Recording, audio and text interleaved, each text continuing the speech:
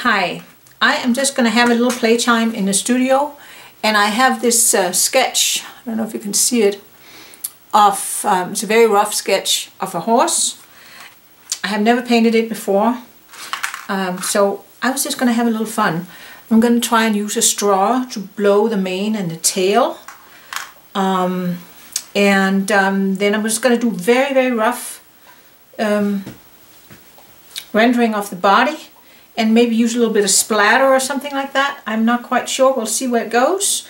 Um, the colors I'm going to use is uh, going to be the colors that I had uh, um, prepared in these round uh, porcelain jars for the big painting. Uh, so that's um, quinacridone magenta, I have transparent yellow, and I have my Antwerp blue, and then uh, here I have French ultramarine blue on one side and uh, the um, burnt sienna on the other side and you know those two neutralize each other so I can kind of get some darks out of that.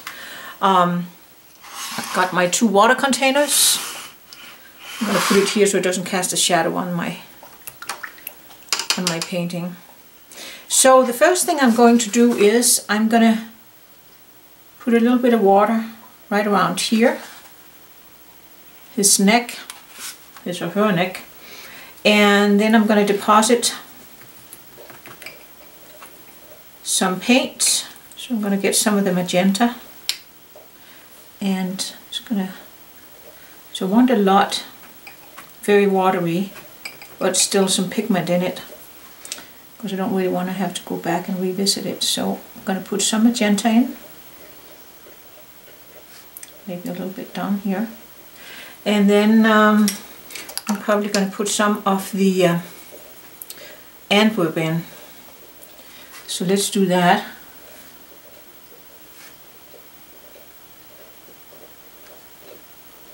And see what happens. So I'm going to blow it in the direction of how these uh, this mane is flying. Okay.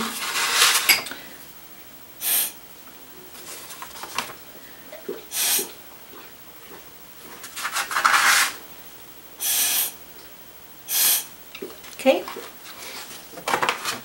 A little bit here. I think I might need a little bit more pigment.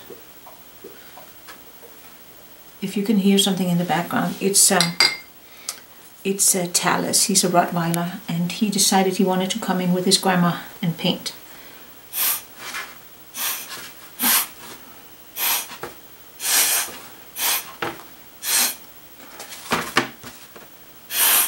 Okay, there's that. And then um,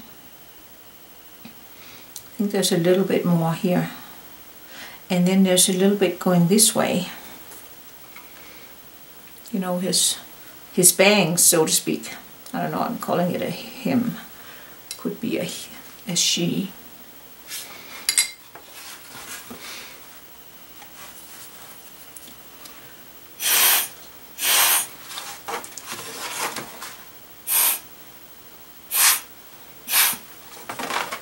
And then a little bit down here. a little bit more.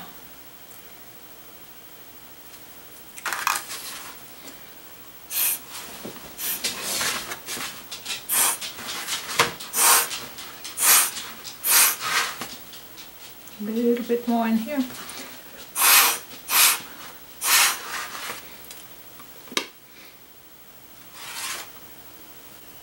So I'm going to try and see if I can work a little bit more in this area. There, that's better. And you know, I can keep adding on.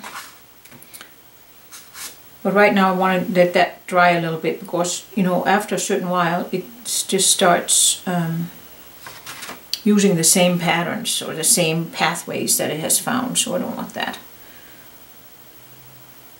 So here, dabbing in the tail and go back and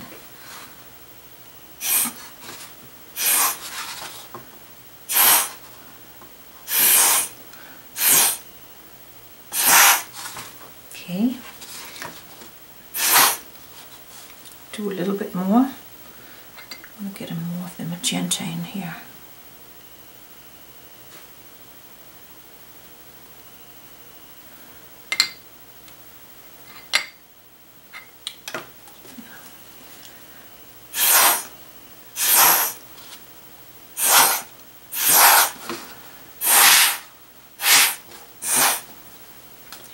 Take a little bit more of the blue.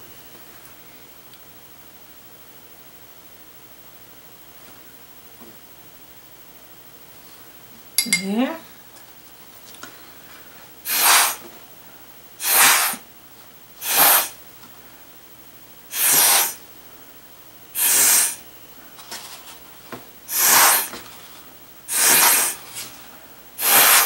There we go. And I think we need a little bit more magenta turned very blue. So let's get some more magenta.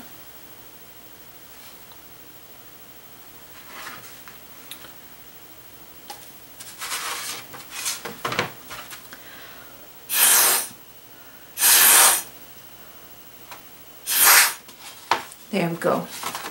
All right. And as you can see, this is kind of a messy process, so you don't want to do it somewhere where these splatters could ruin anything. But in my studio it's okay.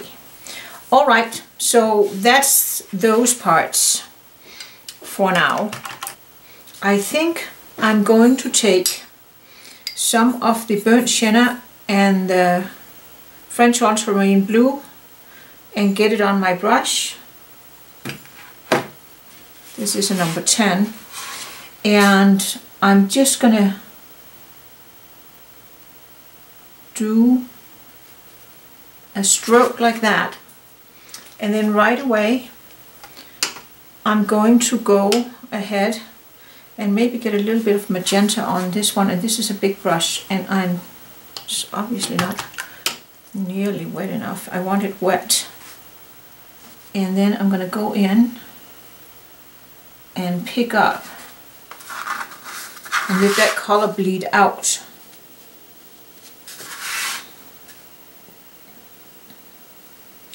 like here probably. And I'm going to just let it bleed into nothing here. There. And I think I'll probably go up and do a little bit like this. Just a little bit. Because I think there's kind of like that um, kind of a direction on and then just go down with the leg here. Okay. Go a little bit like that.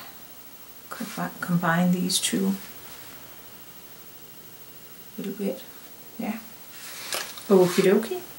And then um, back here, it's going to be a very, is behind and just drag that out like that. There. Lift up just a little bit. Dab in just a little bit more. Darkness. There and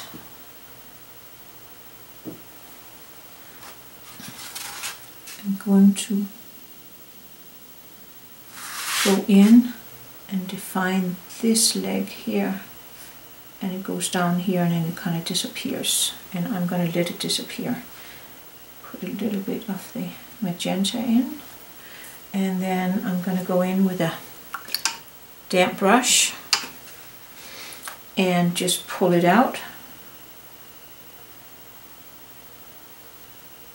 Like here and the same here and then just going to let it be like that There. There's that. And in the meantime, I think I think I want to go in and put a little bit more color on the mane there and see if I can get that um, a little bit fuller. Some of the magenta and then I'm going to go in and do some of the Antwerp blue. Like here. Okay and then let's try and see. This time I'm not even using the straw. I think it might be easier to do it like this the straw we'll see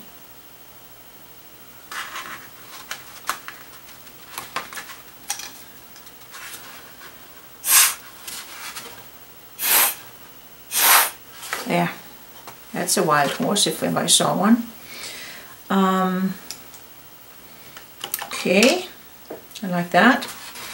I'm just gonna drag it out a little bit like this also. Lead it into there.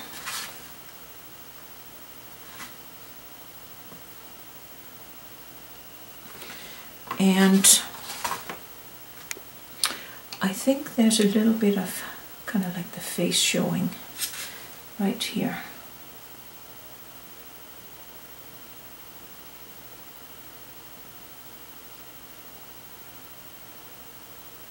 There. So I just put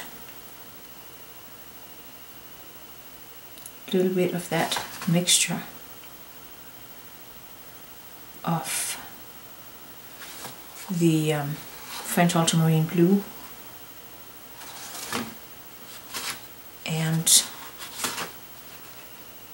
the um, on put a little bit of color in here let's help that mane a little bit here. And there's his ear and there's a little bit of another ear. So there's that can work. Um, this is dry enough now I think. So let's get his behind leg in here it's going to be very dark right here. And kind of down the side like that.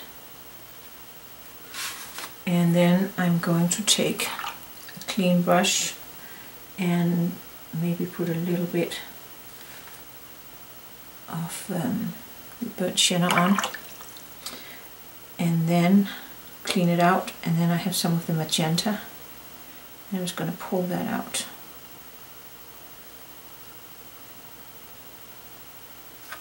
And again I want it to kind of disappear into like nothing.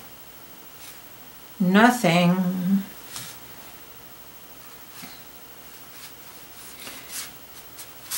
Just kind of fade out, out like that.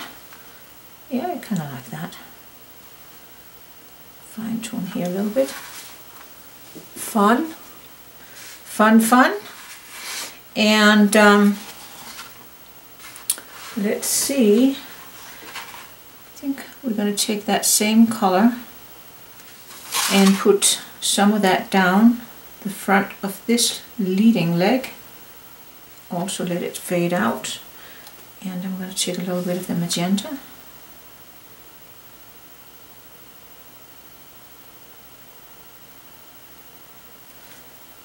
and uh, make sure that I don't I don't want too hard of an edge here. So I'm just going to let that kind of blend in. And that could be a little darker right there. And then make this disappear.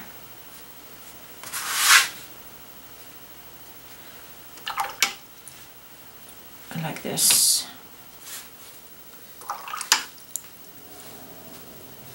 and I got a little bit of a too hard of an edge there because I was too slow so I think I can fix that by just going in and getting some more of that darkness on.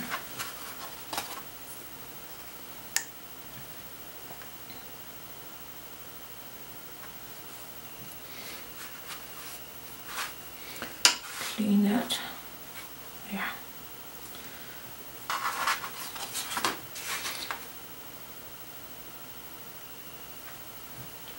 Pick that up. There. So there's that. Okay, so now I actually do like what I ended up with here. I think I am just going to have a little darkness like right there. It kind of separates his head from his neck. There.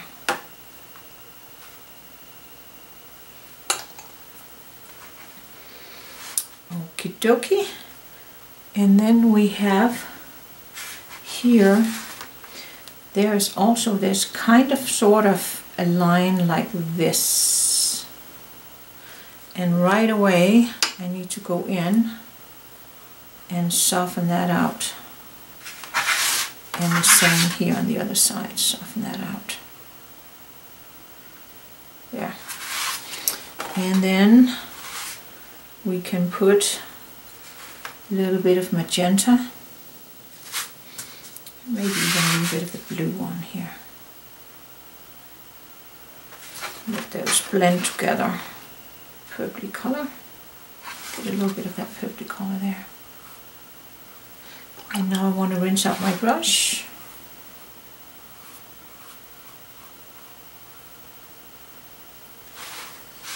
And then it'll be a little darker underneath here.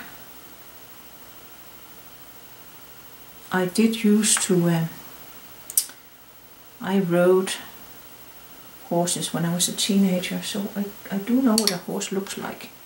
Still have it kind of, you know, built in. Um, it's been a long time since I've been on a horse last. Too chicken these days. Well, I like, uh, you know, once in a while, once in a very, once in a blue moon, I'll be uh, doing a, like, you know, one of those trail rides where you can rent a horse. But that's not nearly as fun, actually, as being on your own horse or and I don't want to have a horse I always said I'm, I'm not interested in having a horse unless I can afford a James to take care of it because it's a lot of work. There's that.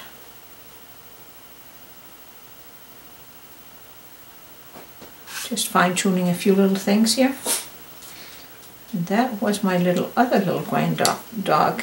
I don't have any animals myself because you know I'm too busy to take care of them. So my daughter and son-in-law, they have a mini poodle. His name is Willie.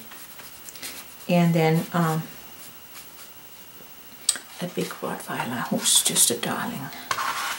So see, a little bit darker in there, darker up here, maybe a little bit um,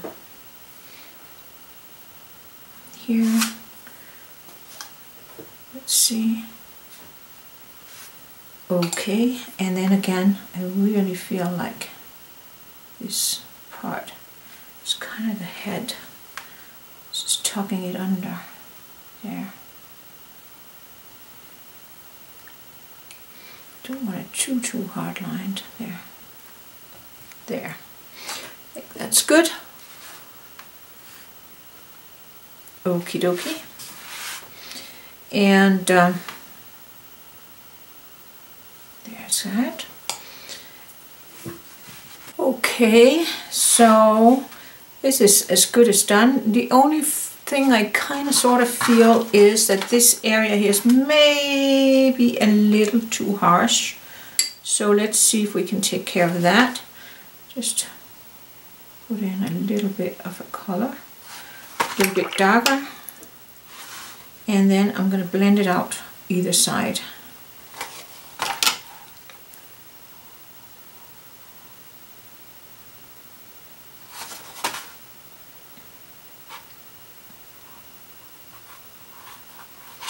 There we go. What do you think? I think it looks pretty good. Maybe I shouldn't have done it so blue, maybe I should have done it more purpley. There. And then there's this kind of a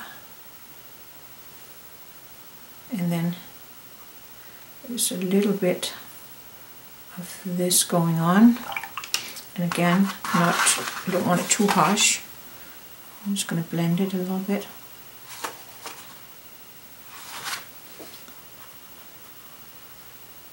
Like that.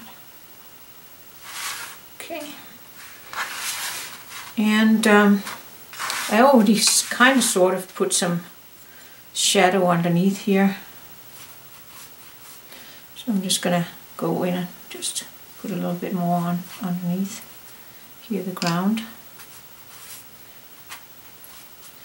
And then I think it's just one of those paintings because of the loose nature of it that's going to really really benefit if I splattered. So let's do some splattering. And I'm just going to splatter with the colors that I have in here. So that's the magenta. A little bit on the horse doesn't matter. But, and then let's get some of the blue.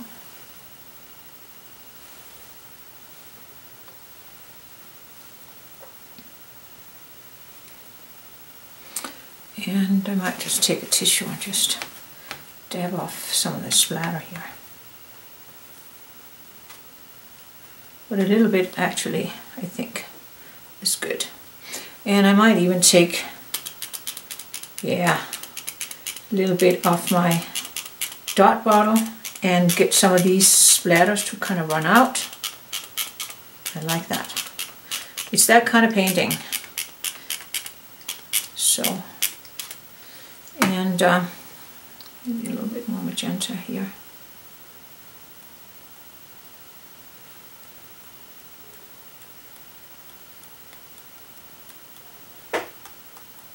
Behind the tail, underneath here, and definitely down here by the feet.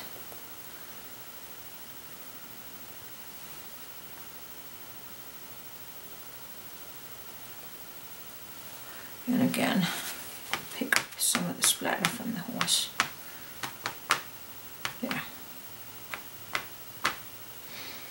And I'll do a little bit more of this misting.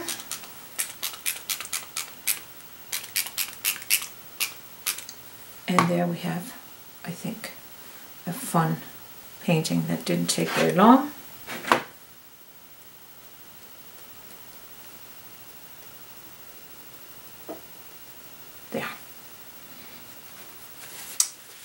One of those, stop while you're ahead. And there we have it. Call that, we'll call that good. I don't think we have anything that looks really out of place. There. Okie dokie. So that was a very quick little horse, wild and crazy, but I think you can see it's a horse.